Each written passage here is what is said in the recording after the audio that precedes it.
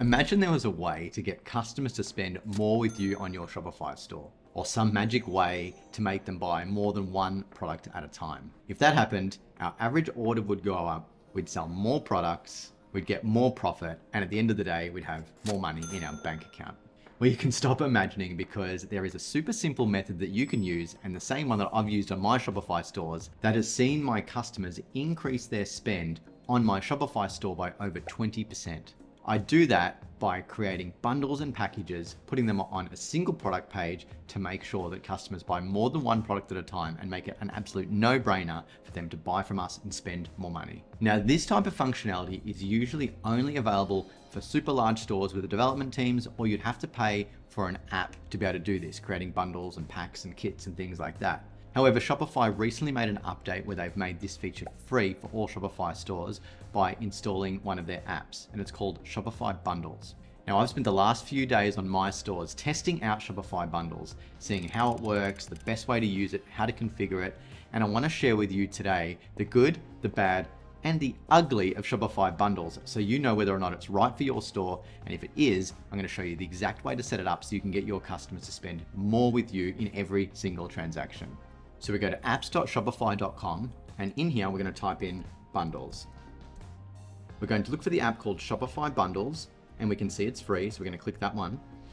And my one says open app because I've already installed it, but your one here is going to stay install app. So go through the app install process to get it installed onto your store.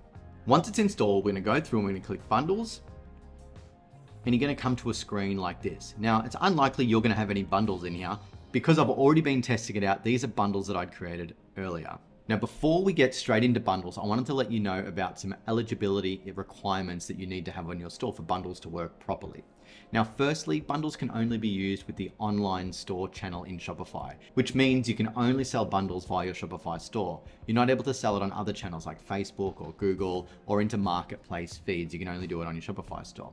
The second thing is if you've got a customized checkout, say you're on a Plus store and you're using checkout.liquid, bundles is not compatible with checkout.liquid. Now that's a bit of a depreciated functionality anyway for Shopify Plus stores. So if you are using Shopify Plus, you should have upgraded your checkout now anyway, so it shouldn't apply too much. The other thing is with some scripts, it doesn't work so well with Shopify scripts. So if you are using Shopify scripts, then again, you're just gonna check whether or not the scripts are going to impact your bundles and vice versa. And then finally, the other eligibility requirement is it doesn't play nicely with some apps such as recharge subscription apps and a few other ones. In order to find out whether or not you meet all the eligibility requirements, Shopify has made a page here, which is gonna tell you a little bit about the requirements. Now, most people are going to meet these requirements. And to be honest, if you've customized and you have things like that, Shopify bundles might not actually be the best for you anyway, because it is a very basic bundles app. So let's get back to the app now and we're gonna start setting up some bundles. So to create a new bundle, what we're gonna do is we're gonna click create bundle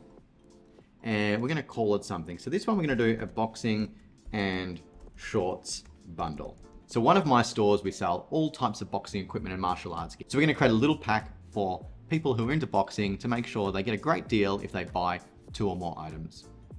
So let's click select products. And what we can do here is we choose the products that we want to put in the bundle. So I'm going to make this an Adidas bundle. So we'll call it Adidas gloves. We'll find out these products.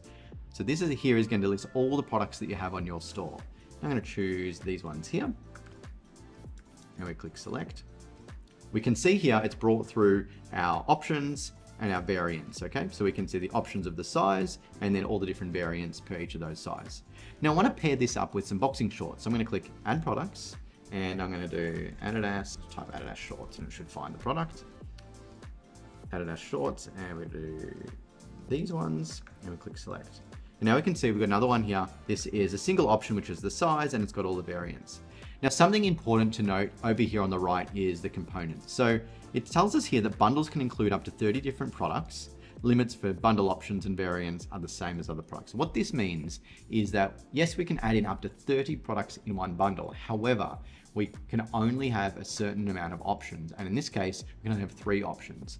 So our options in this size, color, and then we have another size here. So that's a total of three options.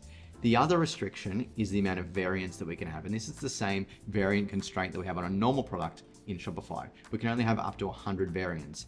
Now, in this selection here, this is all okay. But let's just say I wanted to create a third product in this package. And I click add products And let me just say I want to do boxing shoes.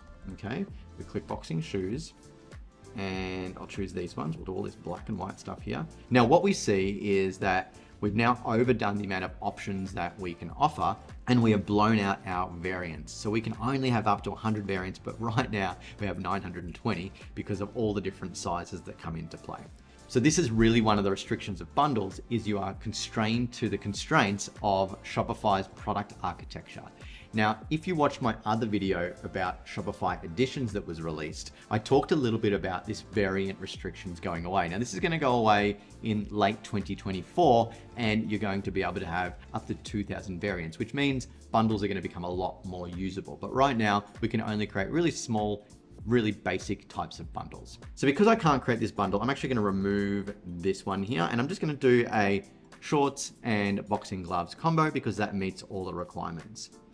So we'll go through and we'll save and continue. Great, so what this brings us to is a pretty standard product page that, that we all should be pretty much used to when we're creating products in Shopify. There's a bit of a drawback here though. Everything we see here is blank. So we need to go ahead and recreate all this copy and all these descriptions and add all these images. Luckily, it's the exact same process that we'd normally use when we create a product. So we'd go through and we could write our description in here we would upload our media here just as we normally would. All right, so I'm not gonna waste your time by going through that. You guys should know how to do that. And if you don't, I did create a Shopify tutorial for beginners that takes you through exactly how you should set up your product pages. So make sure you check that video out. So let's scroll down and there's something a little bit different about this product page, however. We can see that we've now got that this is a bundle product and it's by bundles. So we can see it includes the two products we included in there. And if we do want to go through and edit this again, we just click this little button up here and we click edit with bundles and it takes us back to that bundles page that I was in before. So if we scroll down, we see all of these different option sets for the bundles as variants against the product, the same way you would see a normal product with variants in it. The only difference is it has calculated the products in the bundle together to give you a total. So this is the price of the bundle of the two products added together. Now let's have a quick look at this on the store. So we'll click preview and we can have a look at it on my store as a preview. And we can see here that we've got the options here and the price remains the same depending on which options I choose. Now, all these options here all have the exact same price, so that's gonna be absolutely fine. So this is how we're seeing it. You can see my weird description there, but we would also have an image here as we need to. So it just uses the standard product template. Now, what we want to do though is because bundles, we want to incentivize people to buy these products, we might give a small discount if they buy two of them at once. So in order to do that, we need to go in and edit individual variants and mix the prices. So we'll go back to the product page and show you how we do that. Scroll down, we can click into this one here. And what we can see is we've got our price and our compare at price. Now, if we've ever run discounts on Shopify before by using the price and the compare at price, you'll know how this works. But basically, price is the price you want to sell it for it now, and compare at price was the original price that it was. So if we put the compare at price higher than the price, we're going to see a strike through on that. And I'll show you how that works. So I'm just going to copy this here across to the compare at price, and I'm going to sell this for $230. Okay, so a small discount on that one. So if we click save, we can see the variants updated, and I'm just going to go back to this bundle, and you can see I've updated the 12 ounce black, white, small combination here. So I'll go back to the bundle. I'm gonna refresh the page. Obviously you can't do that, so we'll go back and we'll go to this one here and we will preview it like this. There you go, we're all learning at the same time. All right, so got 12 ounce black, white, and we can see that now sells for $230 and that one is $259.94, which is the combined price. However, if I click 16, it drops to the normal price, which means if you want to discount all of these variants, you need to go into each and every one of them and make that edit. So if you've got a lot of variations and options, this is going to take a little bit of time. So we go into each one and we click through and we change the pricing there. So that's one thing you need to do. Unfortunately, this is one of the bad things is it doesn't have bulk editing like it does on a normal product page. So usually on a normal product page, we could click through here and we could go actions, bulk edit, and we would be good to go. We could do it all in one go. But here we don't have that feature, unfortunately. So, and even if we click edit prices, we only get the sell price, not the compare at price. All right. So that's a little drawback of this one here. So that's sort of the main features if you just want to bundle the same products. Now, there's another type of bundle we can do, which is a quantity bundle, right? So we might want to do a deal on multiple quantities if people do bulk buys. Now, this is a really good feature if you can sell multiple of the same thing. And we might do that, say, with our shorts. So I'm going to go back here. I'm going to go back to bundles, create a new bundle, and I'm going to call this uh, two for $100 shorts. Actually, we won't do that. I'll do something better here. Let's let's do something a little bit better. Let's do uh, multi buy shorts deal. Okay. All right. Now we're going to select the products and choose Adidas shorts. And for those of you in America, I'll say Adidas instead of Adidas. Adidas. All right. So we'll go to the Adidas shorts. We'll click select. And what we can do here is on the top right, we're going to have this one here that says add quantity as an option. So we'll choose that. So if we sell one item, it's one quantity. If we sell two items, it's two quantities, but we could do something like five items, five quantities, okay? And that's gonna let us to sell things in bulk. Now, what we could do here is this just the option value. So we'd write one pair, one pair, two pairs, and we could do like in this save $10. And then we can go five pairs, save $30, right? As an example. Okay, so if we click done on that, we now see we've got another option, which is to bulk buy. So we'll save and continue this. And let's have a look how this looks. Okay, great. So we can option it here. And then if someone goes to buy this, they're going to buy multiple units every time they choose this. However, we can see that the price has just multiplied based on the quantity of the units. So what we want to do now is we want to go back in there and add the discount onto these ones. So we'll go back in and we're now going to go buy two pairs, save $10. So we go in here, we do the same thing, we copy that, paste it in there, and we're going to drop this by $10. Okay, we'll save that one. And we do that again for every single size. We'll do the same for the five pairs just to show you how it works. We'll do that and we'll change that down to this one here. Click save. All right, we'll go back and we'll preview this one here. All right, so we click two pairs, save $10, and we can see we've got the deal here, five pairs, save $30. So that's a really good strategy to do multi-buy products. We could use the quantity breakdown in bundles to be able to do this. So that's how Shopify bundles work. But the challenge for you is, is how do you come up with ideas on the types of bundles or the multi-buys or the packages that you put together so that your customers are gonna spend more money with you. Now we've spent a lot of time going through this in my e-commerce academy program and we have really nailed sort of the three different ways that you can increase your average order value. There's three different types of bundles and packages that you can do.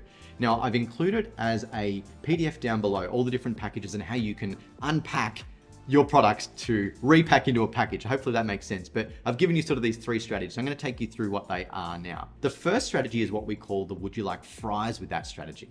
And this is similar to what McDonald's does. If you go into a McDonald's, you go to buy a Big Mac, uh, they'll always say to you, would you like fries with that or would you like it in a combo?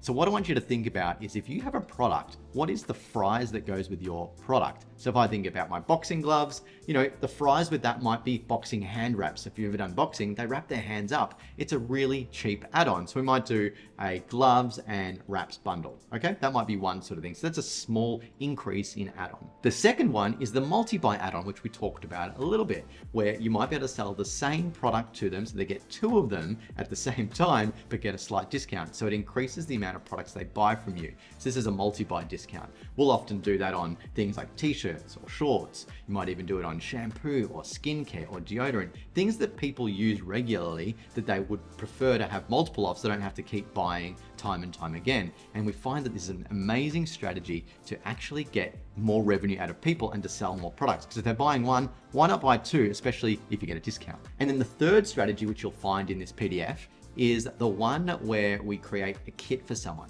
So think about in this store that I showed you on, where we talk about boxing, imagine we had a boxer starter kit, which came with a pair of gloves, it came with a mouth guard, it came with some shorts, and you could put it all together so that if someone was starting boxing, they knew that this was the kit that they needed to buy, and you do all the work for them. You just make it super simple for them to make the decision, to know what to buy, and if they're a beginner, they're not gonna have to go browse the site and make sure they're buying the right or the wrong thing. So we make it easy for the person. So have a think about the types of kits that you might wanna put on your store. So if you want help with that, just grab the PDF down below. It takes you through everything that you need to know about increasing average order value, the types of kits that you can make, the multi-buys, the packs, everything, so that you know exactly how to use something like Shopify bundles on your store. Now, in conclusion, Shopify bundles is an okay app. Okay, it's very basic. It just does really simple bundling and nothing more. If you want something more complex, more advanced, more crazy bundles, you're gonna probably have to pay for an app or get it custom coded. But if you're just starting out on bundles, hey, it's not too bad an app. And I think over time, it's gonna get better and better.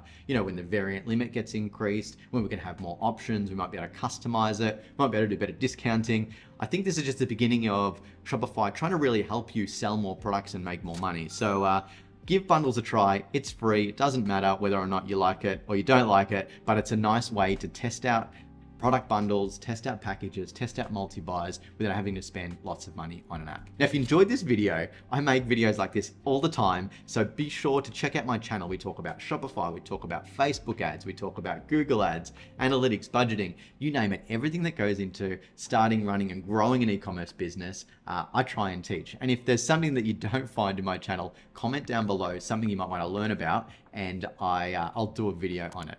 But in the meantime, there's lots of videos around here that you could try uh, to help you grow your Shopify business.